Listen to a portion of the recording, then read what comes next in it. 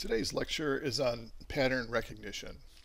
So pattern recognition is a field by which, uh, field of study by which patterns and data are found, recognized, and discovered. And it usually aims to classify data based on a priori knowledge or on statistical information. So the patterns are to be classified are observations. So these are usually put in the form of vectors in a multi-dimensional space. And then what we want to try to do is classify those vectors into one, or two or more patterns or uh, labels. So often classification is based on a set of patterns that have already been classified by a person. This set of patterns is called a training set and this strategy is called supervised learning.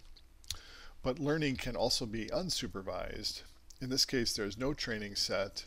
Instead, the system establishes the classes itself based on the statistics of the patterns. Some good resources in pattern recognition. Um, the statistical toolbox in MATLAB is very good. Um, some good journals that often have topics on pattern recognition include these. And um, this is a good book on machine learning and pattern recognition by Bishop. Uh, it's a recent book, uh, I believe 2010. So several approaches uh, we can classify for pattern recognition.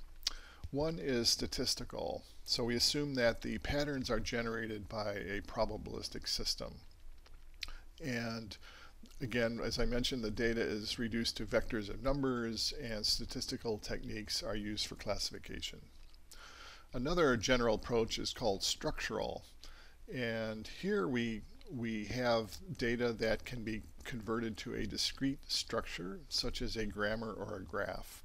So an example might be representing the three-dimensional shape of a person in terms of uh, arms, legs, head, etc., torso, and the relative relationships um, are links in a graph.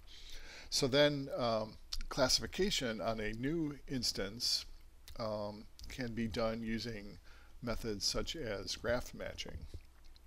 Or another general approach would be uh, parsing if we represented our um, our class using a, uh, a, grammar, a formal grammar, then um, we could use uh, that type of method for matching.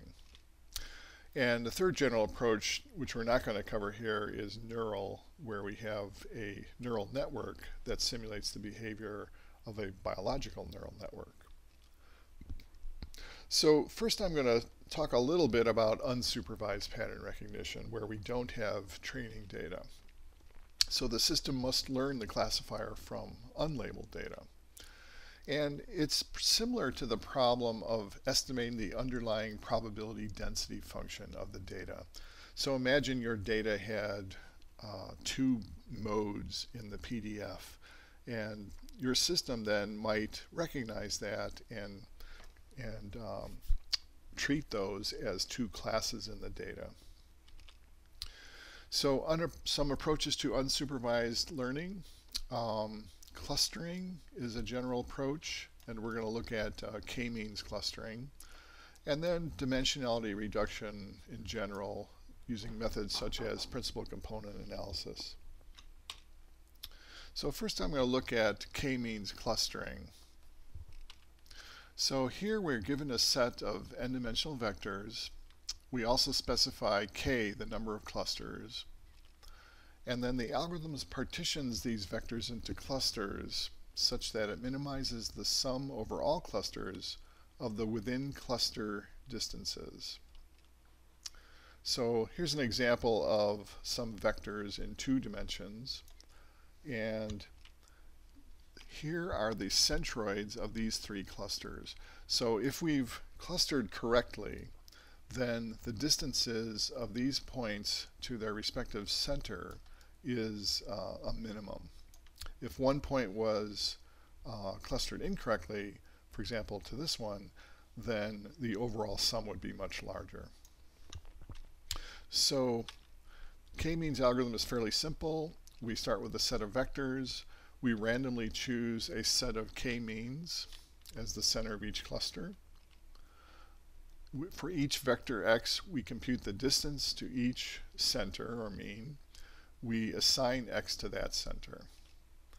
And then we go ahead and we update the means, assuming that we have the labels correct, we recompute all the cluster centers. And then we repeat steps three and four, basically first assigning um, vectors to clusters and then updating the means and just repeating that over and over until there's no more change in the cluster centers. So k-means is guaranteed to terminate, but it may not find the global optimum in the least squares sense.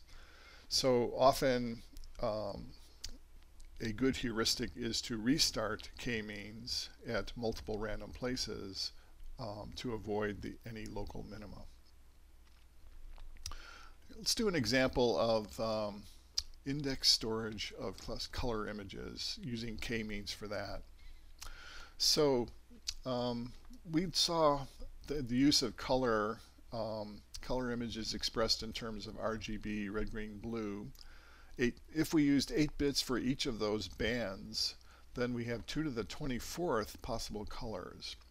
But most images don't use this entire space, so we might be able to get by with fewer discrete colors. And this is where k-means clustering comes in. Uh, we can find a reduced set of colors that represent the image fairly well. So here is a input image using the full color space and here is an image the same image where we have chosen only 32 discrete colors and it's uh, actually a fairly reasonable approximation. So um, the way index storage works then, it, it's a very compact representation. We, we find our set of discrete colors using k-means, and we put those colors into a color map, essentially a lookup table. And then for each pixel, we just store the index into that color map. So here's a image where we're displaying the indices, in this case 64 different indices into a color map. And here is the image rendered using those colors that are looked up by those indices. Um, so exploring that a little bit more, that image here um, has a color map that looks like this, the first couple colors here.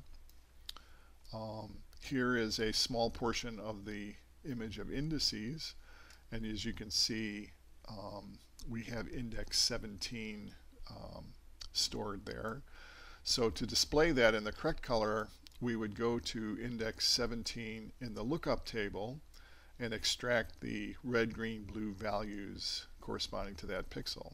So those are the colors that we display for that pixel. So this is a much more compact way to represent color images. Instead of uh, 24 bits, we would use simply 8 bits per pixel, plus a little bit of additional storage for a color map. Um, in the MATLAB image processing toolbox, there are several functions that um, deal with this. Um, RGB to IND to index and index to RGB that would convert back and forth between the full RGB image and a indexed image. Um, and then the image can be stored with its color map um, in which case we can retrieve it using this syntax. And to display it properly using a color map, we use imshow with the image name followed by the color map.